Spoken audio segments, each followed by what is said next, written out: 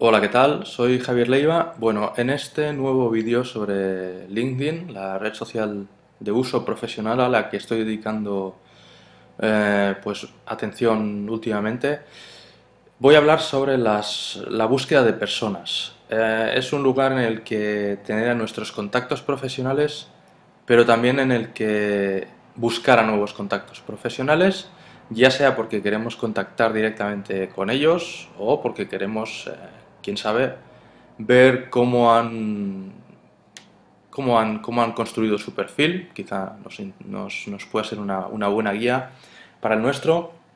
Quizá simplemente queremos saber con qué clientes ha, trabajado esta u otra persona o simplemente queremos, pues eh, a partir de una persona que encontremos, poder llegar a, a una empresa, pues a, a gente que, que, esté jerárquicamente por encima de, esa persona, en fin, las razones pueden ser múltiples. El caso es que tenemos un buscador bastante bueno en LinkedIn donde encontrar personas por distintos criterios. Entonces aquí tenemos el buscador y yo simplemente podría, podría por ejemplo, estar buscando un, pues un escritor, por ejemplo. Vamos a poner escritor directamente. Y veis, aquí me aparecen varias eh, opciones. Lo que voy a hacer es directamente limitar a gente a personas y me voy a ir ya directamente a los resultados de búsqueda de personas. Entonces aquí tengo eh, el criterio escritor, los resultados que me, que me ofrece. Fijaos, aquí en la izquierda tengo filtros que son lo que me va a añadir bastante utilidad al proceso. Tengo de hecho nueve personas en mi red directamente conectados. Veis que eh, tiene en su perfil la palabra escritor, ahí los vemos. Y si quisiera, si lo que me interesa no es gente a la que ya conozco, sino gente de segundo grado, esto es personas conectadas con alguien a quien yo estoy conectado, eh, pues entonces lo que hago es marcar el segundo grado. Veo que tengo 2045, lo cual para empezar seguramente es mucho, pero eh, si lo que estoy buscando, veis, es un escritor freelance, por ejemplo, pues entonces marcaría esta casilla. Y la lista se reduce solamente a 15. Entonces a partir de aquí ya podría entrar a consultar perfiles, ver cuáles son las conexiones compartidas, de tal manera que si me interesa contactar con esta persona, quizá en vez de hacerlo directamente, puedo pedir a una de estas dos personas que me ponga en contacto o explicarle un poco qué es lo que quiero conseguir eh, acercándome a esa, persona. Bien, esto veis que hay más, hay más filtros, eh, entonces puedo añadir y quitar varios filtros. Estos que están aquí en amarillo son filtros de pago y entonces en, esta cuenta que tengo yo no podría usarlos. Bueno, lo que voy a hacer ahora es eh, regresar a la página inicial para ver lo que es la página de búsqueda avanzada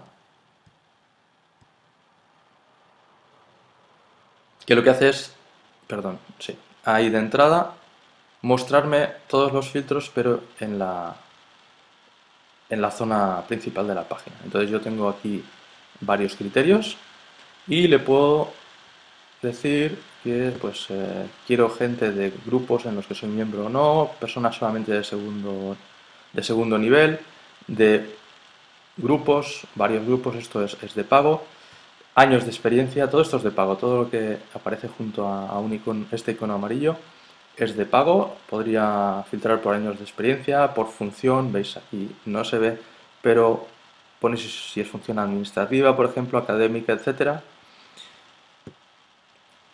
si es manager, si es propietario, etcétera, en qué está interesada esa persona, el tamaño de la, empresa en la que trabaja, cuánto dinero gana al año y cuándo se unió a, LinkedIn. Bueno, todo esto, como digo, no puedo usarlo en este momento, pero sí puedo usar, por ejemplo, puedo hacer lo mismo, escritor, y, por ejemplo, que esté en Barcelona, incluso podría ponerle otro Ahí está. Girona. Y no le voy a poner nada más. Bueno, si quizás le podría poner que haya estudiado en la, en la Universidad de, Barcelona. Y bueno, de entrada, pues eh, con esto tendría suficiente. Y voy a hacer una, una búsqueda. Entonces ya me está limitando bastante lo que voy a poder encontrar.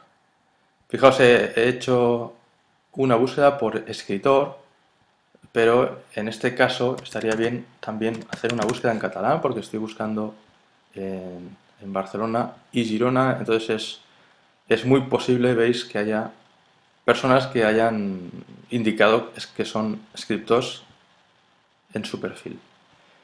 Así que bueno, y como digo, veis aquí tengo los, filtros, entonces si veo que, que de, Girona ya no los quiero, pues eh, simplemente elimino el criterio de la búsqueda y me van a aparecer solamente los que hayan estudiado en Universidad de Barcelona.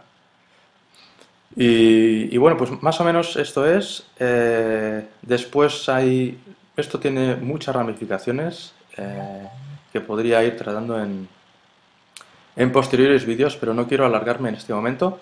Creo que, se ve, que se ve claro un poco, por lo menos, cómo plantear una búsqueda. Ya digo, es muy útil para encontrar profesionales de cualquier ámbito. He puesto escritor, pero podría haber puesto un, tema concreto, pues podría haber, haber puesto, pues, eh, por ejemplo, matemáticas. Ahí está. ¿Veis? Profesor asociado a matemáticas financieras, etcétera. Entonces ahí se trataría de ir, de ir buscando, quizá de eliminar algún criterio de esto o de añadir algún otro. Así que, bueno, eh, por aquí lo dejo. Espero que sea útil. Cómo buscar personas en LinkedIn. Nada, hasta pronto. Gracias.